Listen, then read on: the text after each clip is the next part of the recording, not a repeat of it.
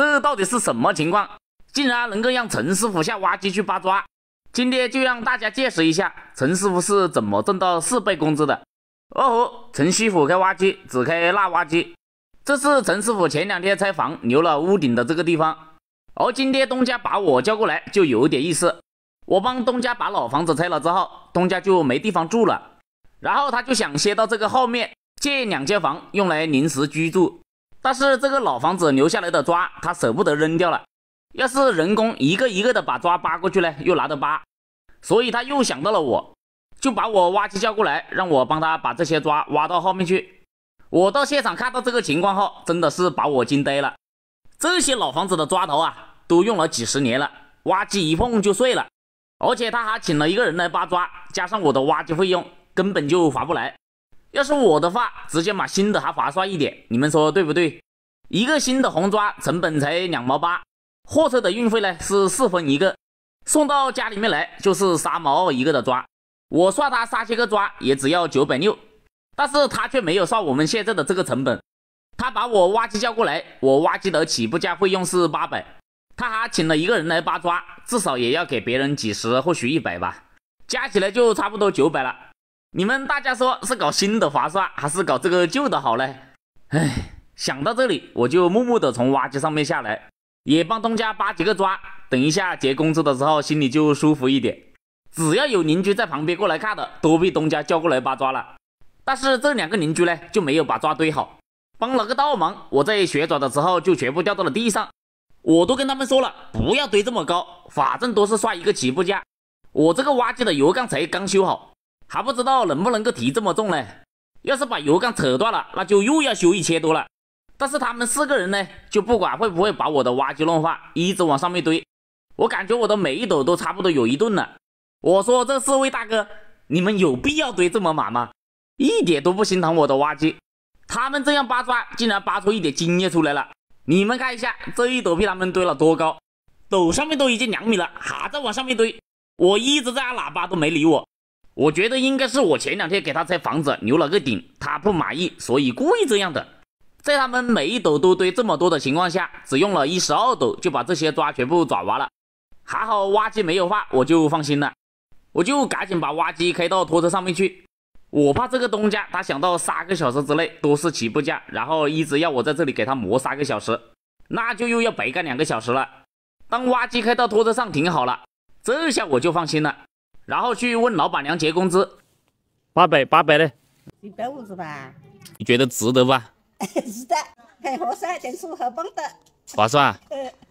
哎，我觉得不划算，我觉得你可以去买点新的抓来，真的是，是不是？那你舍不得了，掉个了？舍不得掉了？嗯。你搞点新的抓，你是不是？你那个墙是不是还漂亮一点？这个啊，这个想不通，兄弟们哈，回家啊。哦吼，陈师傅开挖机，只开辣挖机，遇到啥事不要慌啊！先把手机掏出来发个朋友圈啊！喜提两块玻璃，今天又是，看到没有？贴窗还有这一块全部打掉了啊！拆一个这么矮的房子，结果打掉两块玻璃。前两天把这个油缸打了，今天又打掉两块玻璃。哎呀，最近真的是啊，每天都是亏本的一天。你看，又是拉挖机了啊！两块玻璃全打，前两天油缸打了，今天喜提两块玻璃，贴窗也打了，你看这全是玻璃，又是损失好几百。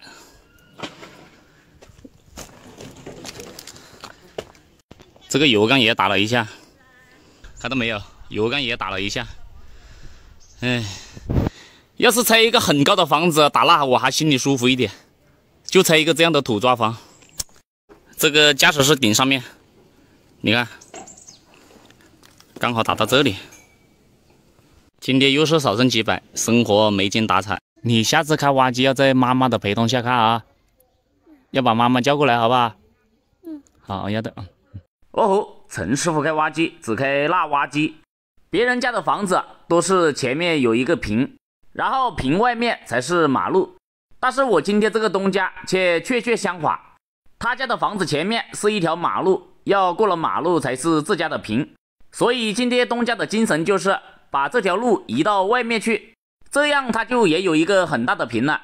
因为这是一条乡村小路，这是可以移的。周围的邻居呢也都是很赞同，所以东家就把我这个村里出了名的磨洋工，搞错了，应该是村里出了名的快、技术又非常好的挖机交过来了。要想把路移到外面，这一个坪就需要多打上混凝土，所以我们就要先把这个坪整体降下去二十五公分，混凝土只打二十公分，但是下面还要垫一层五公分的碎石，这样才能够保证这条路的坚固。首先，我们先把这一个小范围给它挖到位，然后再把这一堆碎石全部挖到刚才平好的地方。要把这堆碎石移开，才可以把下面也降下去二十五公分。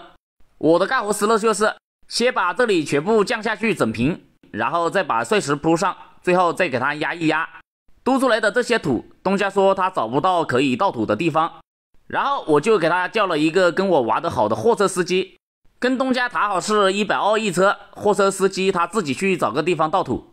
就这样装了五六车之后，东家说他有一点吃不消了，这个运费实在太贵了，所以剩下的土他就不装了，让我直接给他扫到一边算了。那货车司机就拉了五车土，高高兴兴的走了。接下来我的任务就是把这些碎石全部铺到这个瓶里面，因为这袋碎石它比较多，要先把它大致撒开，才好精修解平。东家跟我说，这个一定要给他保证二十公分的混凝土，所以只铺五公分的碎石，这个精确度就非常高了。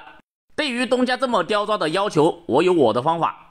我挖不平，我就扫；我扫不平，我等一下就压。如果要是再压不平，我就用陡趴。既然东家把我叫过来，他就应该知道我的技术。我一定要东家知道，便宜没好货，好货不便宜。因为这些碎石实在是太多了。所以我就把多余的碎石又在上面加了一层，然后再开着挖机在这个瓶里面来来回回的压了九九八十一回，刚好半天的功夫总算是把这里做好了。最后给大家前后对比一下效果，你们看陈师傅的积蓄怎么样？今天又多挣了几百，生活多姿多彩。最后我们采访一下这位小朋友，你为什么一个人来看？你怎么不带妈妈一起来看挖机啊？妈妈在哪里去了？妈妈加班去了，上班去了。你下次开挖机要在妈妈的陪同下看啊，要把妈妈叫过来，好不好？嗯，好，要的。哎，你们说这到底是挖机太小了，还是货车太高了？我每装一斗土都把货箱撞了一下，这就有点尴尬了。哦吼，陈师傅开挖机只开那挖机，还没有开始干活，烟就拿给我了。这个东家是真的客气。东家的精神是要我在房子旁边给他挖一个坑。正当我准备挖的时候，东家突然跑过来跟我说，要我先行杀个礼。你先行杀个礼吗？呃，先行杀个礼啊！听到东家这句话，我自己都忍不住要笑了。这个东家他绝对是我的铁粉，竟然还知道要先行杀个礼。他要是不说，我还真的忘记了。因为挖出来的土没地方放，东家要我给他叫了一个货车过来，让我直接装到货车上。我这台挖机是个小挖机，而这个货车的货箱实在是太高了，所以我每次装土的时候就容易撞到货箱。东家很是担心我，怕把别人的车子撞坏，所以我才装了一半，他就不要我装了，让我把土直接挖到这个坑的边上算了。因为坑不需要挖很大，只要桶子能够放进去就行。正当我以为挖好了，结果大妈跑过来跟我说：“陈师傅，你挖错了。”他跟我说：“这个长方形不是竖着的，而是横着的。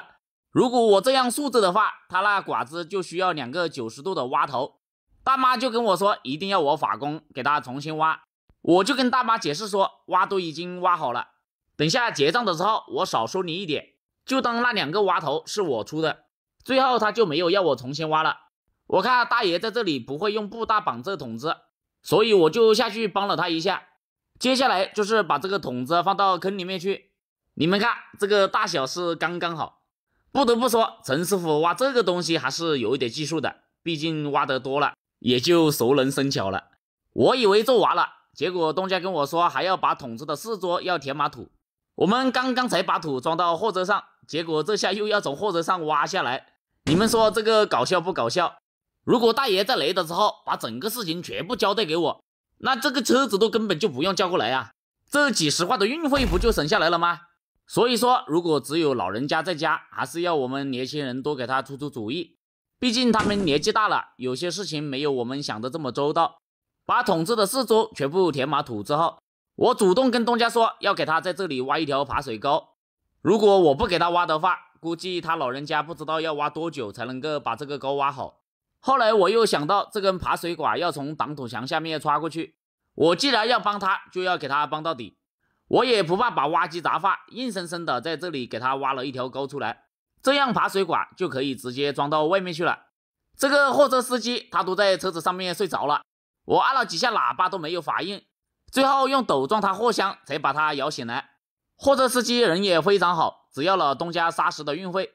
货车司机都这么给力，那我也要少说一点才行。本来我跟东家谈好是一个起步价六百块的，最后我只收了他三百。今天又是少挣几百，生活多姿多彩。喜欢陈师傅的，给陈师傅点个关注，点个赞。我们下回见。